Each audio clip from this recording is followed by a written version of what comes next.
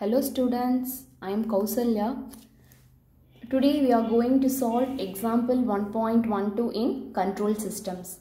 The problem is write the differential equations governing the mechanical rotational system shown in figure. Draw the force voltage and sorry torque voltage and torque current electrical analogous circuits and verify by writing mesh and node equations. So this is the given diagram. So this diagram consists of two masses with moment of inertia J1 and J2. So the first step is we have to draw the free body diagram of J1 and J2. With the free body diagram we can write the differential equations governing the system. So here the displacement of J1 and J2 are not given. So here we are considering let the angular displacement of J1 be theta 1 and angular displacement of J2 be theta 2. So the first step is here the free body diagram of J1 is drawn. So as usual here this T is the applied torque right. So to this torque we are considering the angular displacement of J1 as theta 1. So let the angular displacement be theta 1. So the next step is count the number of elements which are connected with J1. So totally 1, 2. 2 elements are connected. So total number of opposing torques will be 3 in number. So one opposing torque will be produced by this J1 itself and another opposing torque will be produced by this B1 and another opposing torque will be produced by this K1. Right. Now we are going to write the expressions for each and every term here. So Tj1 is directly proportional to d square theta 1 by dt square. So which is equal to j1 into d square theta 1 by dt square. The next one is tb1. Again this tb1 is directly proportional to d theta 1 by dt. So which is equal to b1 into d theta 1 by dt. And the next one is tk1.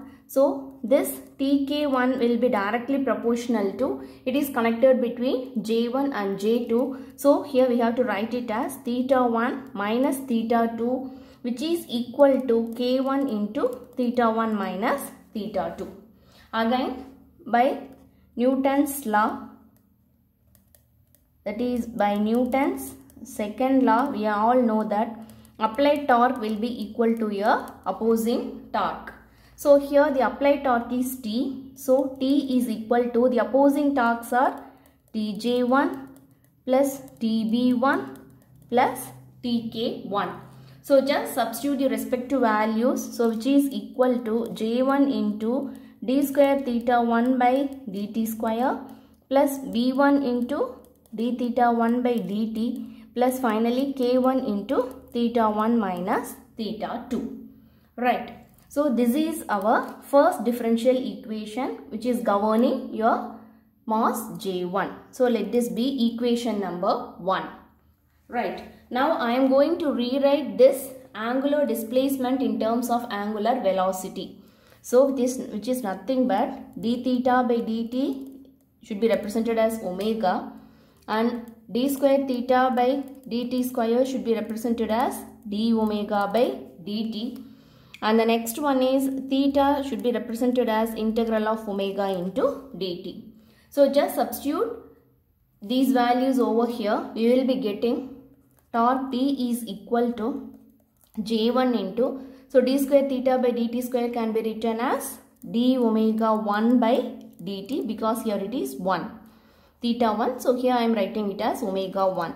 And the next one is b1 into d theta by dt is nothing but omega. So here omega 1 plus again here k1 theta is represented as integral of omega 1 minus omega 2 into dt. Okay. Let this expression be expression number A. Right. And the next step is we are going to draw the free body diagram of our mass J2. So while drawing the free body diagram, okay, this is this diagram I had drawn from the given problem. So there is no direct torque applied on this J2, okay, and the displacement of this J2 is theta 2. So the opposing torques will be produced by here there are totally three elements which are connected with J2 that is K1, K2 and B2. So apart from these three opposing torques an opposing torque will be produced by this J2. So just draw accordingly. This is TJ2 and another opposing torque by TB2 and another opposing torque by TK2 and finally the last opposing torque by TK1 right. Now we are going to write the respective values here. So that is TJ2 is directly proportional to d square theta 2 by dt square. So which is equal to J2 into d square theta 2 by dt square and the next one is torque produced by this B2 so this B2 is directly proportional to d theta 2 by dt. So which is equal to B2 into d theta 2 by dt. And the next one is tk2 and this tk2 is directly proportional to here is nothing but theta 2 so which is equal to k2 into theta 2 and the last one is tk1 and this tk1 will be directly proportional to because this K1 is connected between J2 and J1. So as we are considering J2 here, we have to write the theta 2 first. So it is represented as theta 2 minus theta 1. So which is equal to K1 into theta 2 minus theta 1. Right. So here in this case again the applied torque will be equal to your opposing torque. There is no applied torque here. So here it is 0. So 0 equal to the opposing torques are Tj2 plus TB2 plus TK2 and TK1. So when you substitute the respective values here you will be having J2 into d square theta 2 by dt square plus B2 into d theta 2 by dt plus K2 into theta 2 plus K1 into theta 2 minus theta 1. Right. This is the differential equation governing mass with moment of inertia J2. So let this be your equation number 2. Right. Now I am going to rewrite this theta in terms of angular velocity. So when you rewrite this expression will be having 0 equal to J2 into d omega 2 by dt plus again b2 into omega 2 plus k2 into integral of theta 2 into dt plus again sorry omega 2 again k1 into integral of omega 2 minus omega 1 into dt right. This is the respective equation that is this expression in terms of omega that is angular velocity. Let this expression be equation number b. Right. Our next step is we are going to draw the torque voltage analogous circuit. So in this torque voltage analogous circuit, to draw this, we must be familiar with the differential equations in terms of angular velocity. That is, we are considering our equations A and B. That is, this is your equation number A and this is your equation number B. Right. Now I am going to draw the respective, that is, I am going to replace all these things in terms of electrical analogous circuit. So here the first one we are having is we are having that is in regarding this torque voltage analogy the first thing is this J1 this J1 should be represented as L1 and this J2 as L2 and this B1 should be represented as R1 and this B2 as R2 and here K1 is represented as 1 by C1 and here it is 1 by C2. This is torque voltage. So this torque should be represented as voltage here which is nothing but E of t. And this omega 1 is represented as I1 and omega 2 as I2. Right. Now I am going to draw the diagrams here. So in the first one we are having a J1. J1 should be represented as L1. So here I am drawing an inductor. Let this be your L1. Next one I am having B1. So this B1 should be represented as R1. So just I am drawing an R1 here. Next one having K1 and this K1 is common for loop 1 and 2 and this K1 should be represented as a capacitor. So and this capacitor is represented as C1. Right. This is your first loop. sorry which is equal to t so here there is a voltage source okay it is e of t there is a voltage source here okay there is a voltage source so this first loop consists that is first expression consists of four elements 1 2 3 4 and totally in our loop also we are having 1 2 3 and 4 totally four elements. Let the current flowing through this loop is i1 right.